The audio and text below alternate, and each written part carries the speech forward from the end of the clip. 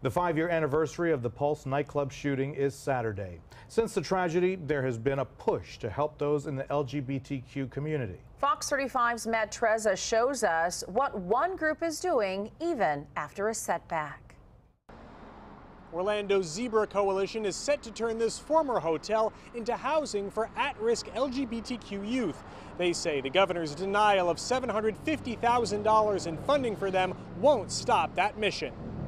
It is clear to us, just the first few days of Pride Month, the message that this governor has sent to our kids and, our, and to our community. The Zebra Coalition says 18% of America's homeless kids are in Florida and 42% of them identify as LGBTQ. Because now the kids that we're sending this message to, or that the governor has sent the message to, are going to need housing. And we aren't supported in that effort. We're trying to build something that is important for our community that we need to do because kids are out on the streets. Other LGBTQ charities were also hurt by budget vetoes. The Orlando United Assistance Center lost $25,000 in funding, but one family is stepping up to help them out. Fred and Maria Wright lost their son Jerry in the Pulse tragedy. They're pledging to match funds of up to $25,000 for any donations to the center.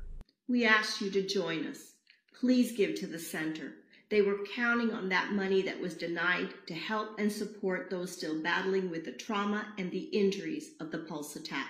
The governor's office responded in part that Governor DeSantis has advocated and secured a significant funding increase for community based mental health resources statewide, which can and will be distributed to organizations that serve the LGBTQ community, but is not limited to LGBTQ focused organizations. The Zebra Coalition says this hotel will provide housing for 35 at-risk youth, and they say they're going to move forward with that mission despite not getting the funding they were hoping for. In downtown Orlando, Matt Trezza, Fox 35 News.